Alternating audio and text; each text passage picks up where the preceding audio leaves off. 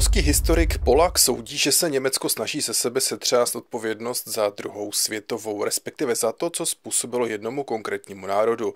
Historik Vojčech Polak z Institutu Paměť Narodovej to řekl více natvrdo a čteme to na portálu v Politice. Článek vyšel 25. května v sekci Historie. Najdete jej na vpolitice.pl, ono V pište jako dvojité a všecko jedním slovem. Toto je kanál Pléska od mikrofonu vás zdraví a pozdravuje ve spolek Vladimír Franta.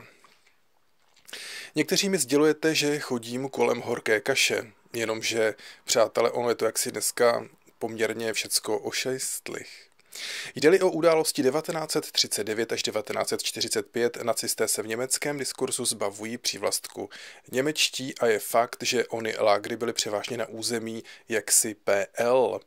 Takto se to prezentuje dnes v SRN. Polský historik nabyl dojmu, že se tu odpovědnost za ty hrůzy přenáší na jeho zemi.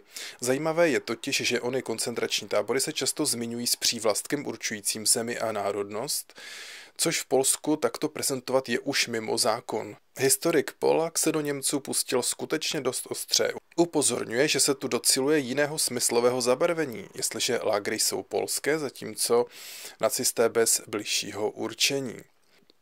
Polské úřady již požadovaly po Německu reparace za škody z druhé světové. Premiér Mateusz Moravěcky uvedl, že reparace by byly pro Německo výhodné, protože by zlepšily vztahy Poláků k Němcům. A jak jsme na tom včera?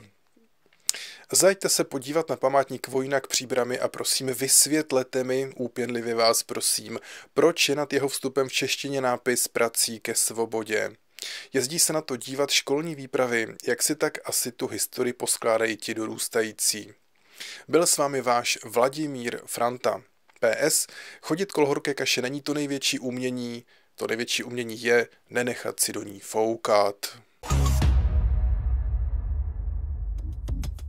thank you